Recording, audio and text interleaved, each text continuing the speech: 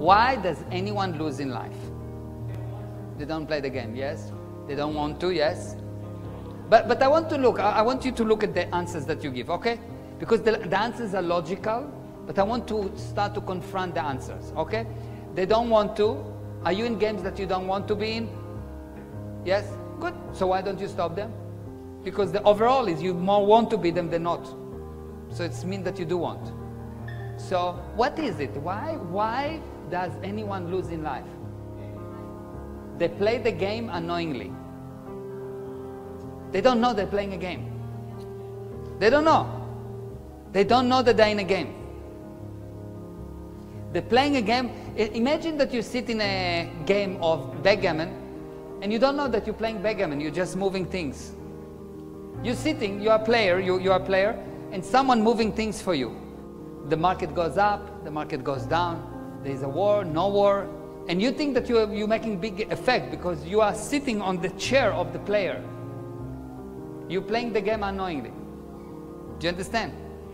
They are a CEO, but play the game of janitor or a soldier or a ship captain. So they are playing one game, they are the CEO, let's say I'm a CEO, but the viewpoint, the viewpoint is of a janitor or a soldier or a ship captain. So they're playing the CEO and they say, hey you, soldier, come here. Which soldier? And he thinks that maybe he doesn't call his employee a soldier, but he say, hey you come here. And when the employee don't do that, he thinks this is a bad employee. In his mind, do you understand? Have you seen someone being a CEO and being an, a, a, a commander in the army at the same time? Did you see someone being a salesman and being at the same time a beaten woman?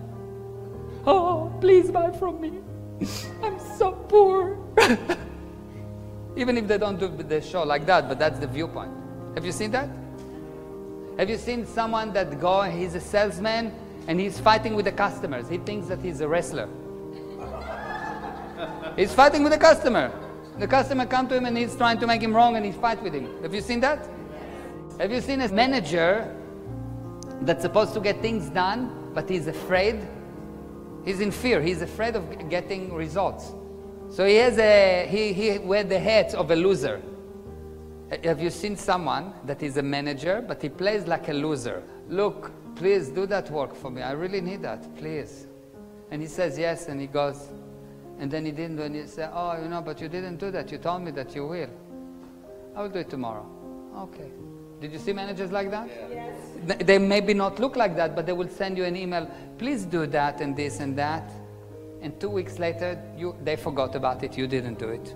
And they remember and they say, hey, you know, I'm sorry to bother you, but do you mind doing that? And the guy don't answer. He's a loser. The manager is a loser. So, if you don't know what game you are playing, how many of you playing the game of succeeding in the physical universe, but what you're actually doing, you're playing the game of resting? How many of you playing the game of succeeding in the physical universe, but you actually playing the game of being a spectator of Netflix? How many of you have a lot to do, very, very urgent things to do? That's your real game, but you're playing the game of I don't have time. Not because you don't have time, because you don't do. So many of you playing the game of the physical universe, but you don't know you play it because you play all the other games.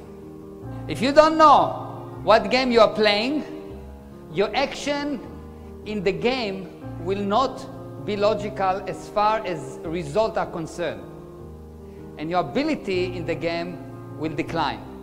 If you don't know which game you're playing, let's say I'm playing a game of backgammon, but I think that I'm playing a game of basketball. I'll take the pieces and throw them.